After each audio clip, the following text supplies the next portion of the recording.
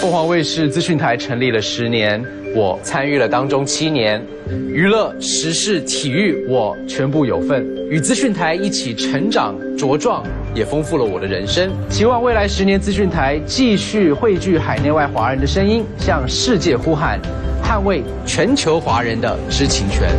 凤凰卫视资讯台开播十周年影响未来